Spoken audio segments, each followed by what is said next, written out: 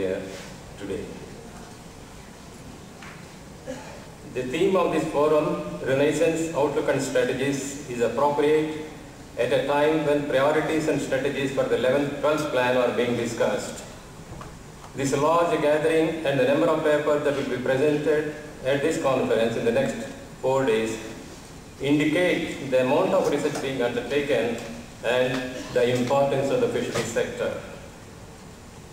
Per capita consumption of fish globally is estimated around 17 kilograms per annum, while among Asian countries, excluding India, it is around 29 kilograms per annum.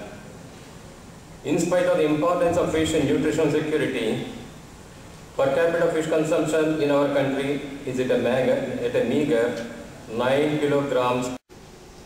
Let me, on behalf of the governing council of NACA, the Network for Aquaculture Centers in Asia Pacific, and the entire NACA organization, convey my greetings and best wishes for a very pleasant and productive session in the next four.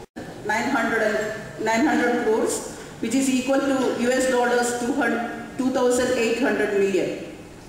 A number of subsidiary industries also exist and they play a major role in stimulating and strengthening the economic growth of the nation.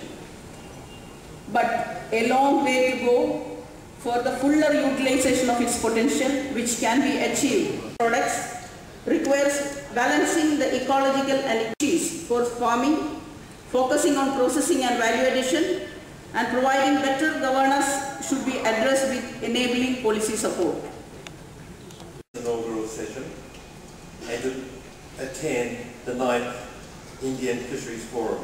I thank the organisers for their kind invitation. I'm also looking forward to attending the International Symposium on the ecosystem approach to fisheries in the Bay of Bengal large marine ecosystem. Two topics which I've had a long